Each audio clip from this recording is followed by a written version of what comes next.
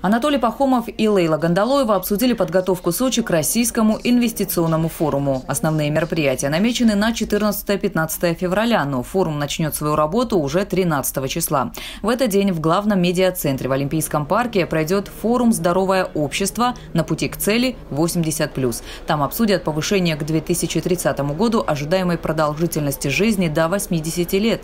Также 13 февраля губернатор Вениамин Кондратьев выступит с презентацией перспективного развития развития инвестиционных проектов экономических зон Краснодарского края.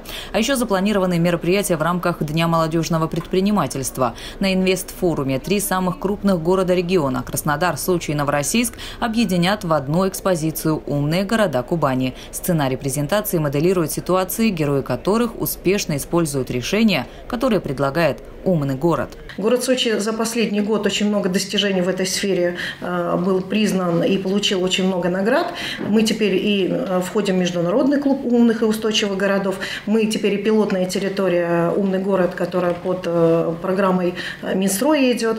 Это будет очень много возможностей и для жителей, и для власти, и для наших туризмов, которые будут... Самое главное, мы возьмем под контроль буквально все, и ЖКХ, да, да. и туризм, и это будет давать возможность быстро реагировать власть, властям, быстро реагировать Все будет доступно да. и прозрачно. И, конечно, есть... это улучшение качества жизни. Это главная задача, которую перед нами поставил президент Российской Федерации.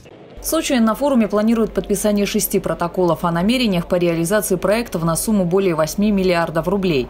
Это марина и все сезонный аквапарк в Лазаревском районе, музей «Северный Кавказ» в Красной Поляне, а также торгово-развлекательный комплекс аквапарком, реконструкция гостиницы «Олимпийская», строительство лечебно-оздоровительного, а также реабилитационного центра ипотерапии.